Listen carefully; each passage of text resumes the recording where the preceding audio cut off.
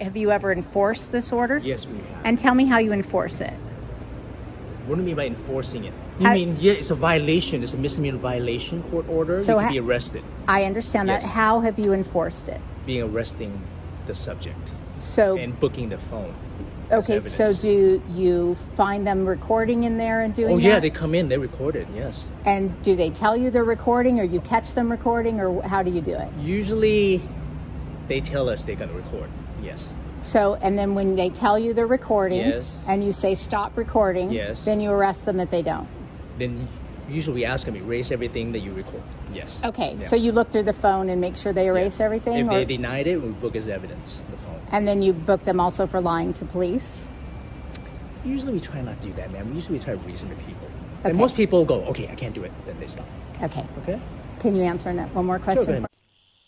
This is Susan Bassi, and this is not a video about police transparency.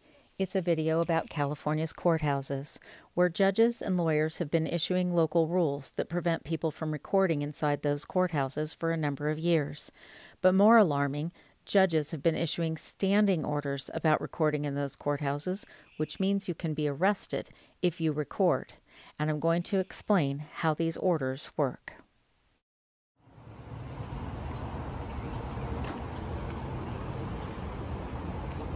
This is the Government Center in Ventura, California. It's hard to tell which building is which. Some are buildings that contain executive government workers, and some contain judicial government workers, meaning judges and court staff. But it's hard to tell that this is a courthouse other than a few window markings. And so I was just out recording where to go and what it looks like in Ventura, California. And when the security doors opened, this is what happened next. What's that? Yeah. Is you have a local rule or something about it? Uh, can I get a copy of that, please?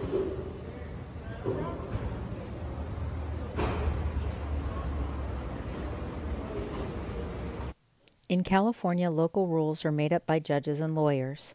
They require a certain procedure to implement and put into place, but they are the policies and procedures for the courthouse. They are not law. And lately, there have been a number of judges throughout the state of California that are not only relying on local rules, but they're also issuing standing orders about not recording in courthouses. And those standing orders then can be used for a criminal proceeding if a courthouse decides that there's information getting out to the public that they don't want people seeing, especially information about how judges and lawyers interact inside that courthouse. Uh, so I, is this the same one that's posted up on the uh, wall up there? This is the full one, ma'am. It's four pages. You can read it, okay? Okay, and uh, your name and badge number, Oh, please. it's Ananta, Thank you. 3364. I appreciate it.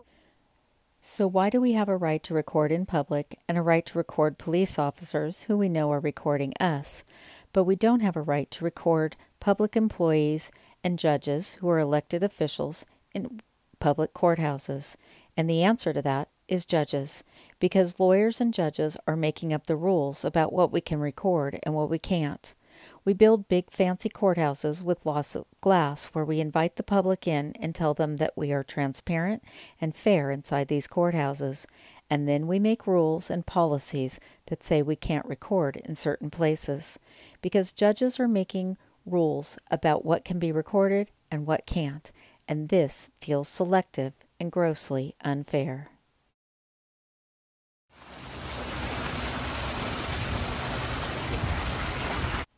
It is hard to see a separation of powers in Ventura County because the government building is also the courthouse.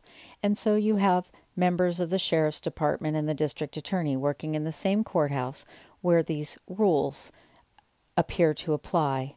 And for that reason, I didn't record the district attorney's office when I went inside that courthouse. But I want to read you the order and see what you think about judges making up orders about who can record in courthouses and who can't. So now I'm in Ventura, California. And I'm going to read parts of this court order that was issued in 2018 and the relevant parts related to public transparency inside that courthouse. The order states as follows No one except authorized court and court security personnel may engage in photographing, recording, or broadcasting, or activate any camera, microphone, recorder, or broadcasting device in any courtroom, courthouse, or court facility in the county where the court conducts business, including the full entry security screening areas, lobby, courtrooms, judges' chambers, clerk's office, court offices, and the hallways adjacent to these areas, except as Ventura County Superior Court Local Rule 26 and California Rules of Court 1.150, or as permitted by this order or other order of a judicial officer as set forth herein. Court facilities do not include the offices occupied by the non court agencies or government agencies that include the District Attorney's Office, Victim Services, the Public Defender's Office, and the County Library. Those are county agencies, public agencies, and they are not governed by the court. They are governed by the local government. So it is surprising that all of these agencies are contained in the same building as the courthouse, and this order is passed out at the front of the courthouse where people might believe that they don't have a right to record in those other areas. The order goes on to say, for purposes of this order, the following definitions apply. A camera is defined as any device that has a primary function of recording images and is not part of a multifunction device such as a smartphone. A wearable electronic device or wearable camera is defined as any miniature electronic device that is worn under, with, or on top of clothing and having a primary purpose of image capture or recording, such as Google Glass, GoPro cameras, and lapel cameras. Personal electronic device is any device capable of communicating, transmitting, receiving, or recording messages, images, sound, or data. And remember that after 2020, when all the courthouses in California had to be closed, they started recording all the court proceedings and broadcasting those proceedings on private business platforms, including Zoom, Microsoft Team, and a platform known as BlueJeans. And so the court is deciding what businesses are allowed to record and who is allowed to record not only the courthouses, but the court proceedings.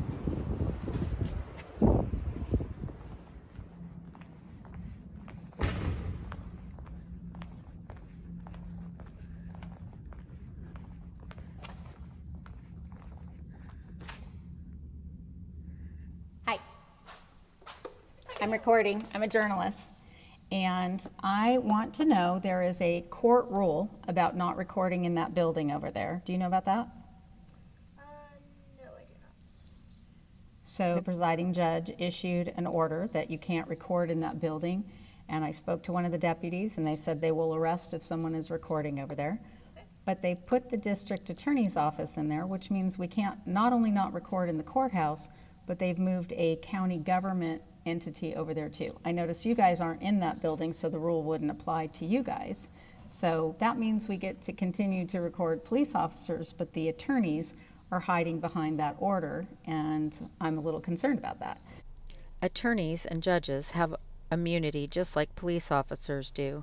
Attorneys have litigation privilege, which gives them immunity to do a great many things as officers of the court, and judges have immunity for their judicial duties meaning making orders. So these orders that say there can be no recording in public courthouses came from a judge, not public policy that supports the right to know the business of what's going on in those courthouses, but judges who don't want to be recorded, judges who get in trouble when they're recorded. They're the ones making these orders and causing taxpayers to pay money if the district attorney and the sheriff's departments intend to prosecute these orders. So we're now going to do some public records requests in Ventura, California, and see how much these orders are costing and why the judges don't want the public to know what's going on inside those courthouses.